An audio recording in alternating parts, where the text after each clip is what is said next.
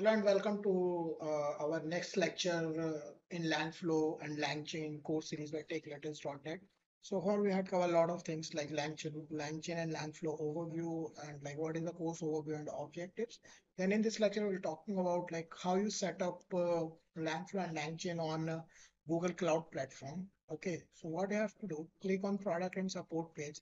And here you can find about the in artificial and machine learning category, find about the AI app development using LangChain and LangFlow uh, product. Okay, so in this lecture, we're talking about GCP deployment guide. Click on GCP deployment guide. Then here you can find about the full flag guide of uh, setup installation of LangFlow and LangChain on GCP. So here the first step, uh, click on this link and open uh, this uh, product on Google Cloud Platform Marketplace. So you can find about the AI app development using LangChain and LangFlow. You can find about the overview, pricing, documentation, and other things. Okay, and about the LangChain and LangFlow integration framework and benefits, other things. Okay, so click on launch. So after clicking on launch, this will take one or two minutes. Okay, so here you can see that the deployment name and uh, about the select a service uh, you can choose according to your preference, then click on deploy. After clicking on deploy, uh, you can see that uh, LangChain 3 AI app development using LangChain and LangFlow step by step three by three has started deploying. This may take a few minutes. Okay, so let's see what is our next step after clicking on deploy button. Uh, after clicking on deploy button, uh, a summary page displays when the compute engine is successfully deployed click on the instance link to go to the instance page. On the instance page, click on the SSH button. Select open in browser window. This will open SSH window in browser. Run below command to set the password for the Ubuntu user. Okay, so let's see. It will take one or two minutes because uh, it will take some time. You can see that uh, most of the things are in progress. Okay, so let's see what is our next step. So now the password for the Ubuntu user is set. Can connect to a VM desktop environment from any local Windows machine using the RDP protocol or Linux machine using Remmina. So we have in our RDP also, it is remote, which is remote desktop option. Okay. After this, you can see that it will uh, successfully launched and deploy. Then click on LangChain uh, 3 VM. Then here you can see that the status type is running. Now what we have to do, click on SSH button open in in browser window option. And after this, uh, you can take, you can see that transferring SSH keys to the VM and it will take one or two minutes to, okay. Now what we have to do, uh, copy the IP. You can see that it is working now. Now what we have to do again, run then command. Okay.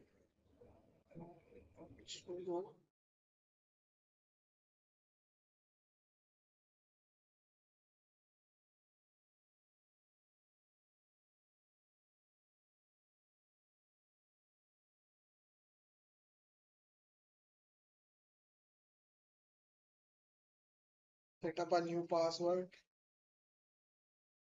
Again retype new password.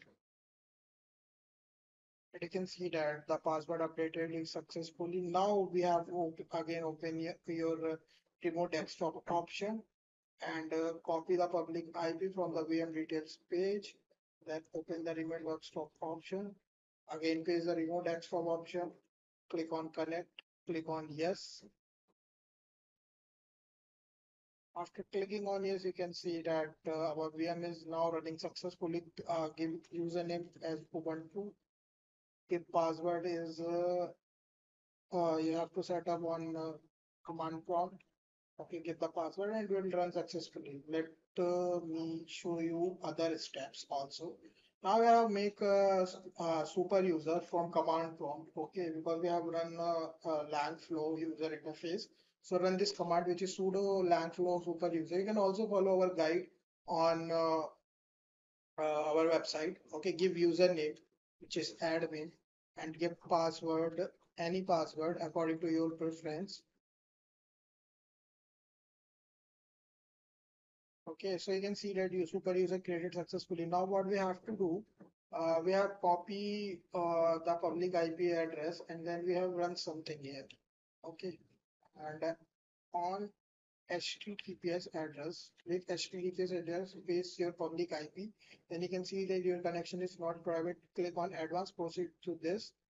And you can see that the Langflow uh, user interface is running now. Now I have uh, set up a password and uh, uh, username here. You can see that the username is, uh, I think, uh, I think admin. Okay, so the username is admin and your password, I have to set up a password. Here you can see that. Okay, now what you have to do, uh, give username that is admin and uh, give password.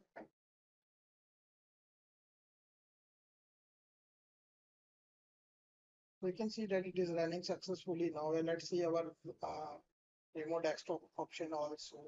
So it will take one or two minutes more. So this is how it works. Like this is how you set up a Langflow and LangChain on Google Cloud Platform. Here you can see that the Langflow is also working now. Here you can see the user interface. You click on start here, but then you can find about all the things here. Then this is all about to the Langflow, like how you set up a Langflow on GCP. And this is all about the video. Let's see our, uh, yep, you can see that our VM, our remote desktop option and this setup is also running now. Okay. So that's all about this lecture. I hope you guys like this course and this lecture. Don't forget to like and subscribe our YouTube channel and uh, yep, we will provide more valuable content on different tech and different technologies. Let's meet in next lecture. Bye bye.